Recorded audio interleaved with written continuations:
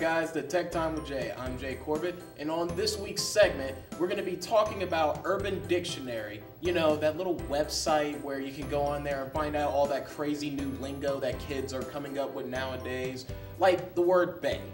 However, the reason why I'm talking about it today is that I came across it as a mobile app on the Google Play Store and on the iOS App Store. So today we're going to be checking out Urban Dictionary and see what kind of kooky things we can see up in that app. So let's take a look at Urban Dictionary, shall we? Okay, so generally speaking, I'm pretty sure the entire public already knows what Urban Dictionary is and what it's all about. Urban Dictionary is a site where you can go on there and type in any type of word you think is considered slang, and you will find the meaning of that slang term.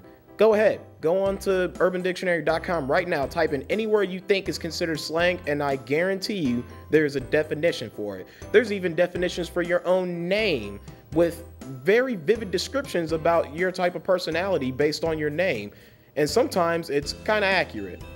However, that defeats the purpose of Urban Dictionary. Urban Dictionary is a fun little website and app that shows you the meaning of certain words that nobody knows about. Some words include bae, and well, there are some other words besides bae. But other than that, Urban Dictionary is just a fun little website to go to. Check out some really interesting definitions for words and, you know, just let people know what you know about slang. Well, guys, that's pretty much all I can say about Urban Dictionary. There's nothing really special about it except you get to find out the definitions of slang words. I mean, uh, well, there's bae, and, uh, oh, that's another word you guys can look up fleek.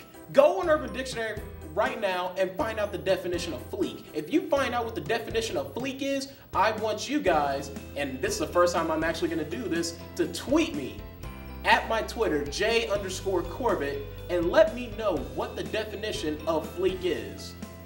Well, that's all the time for Tech Time with Jay. I'm Jay Corbett. You guys have a wonderful week.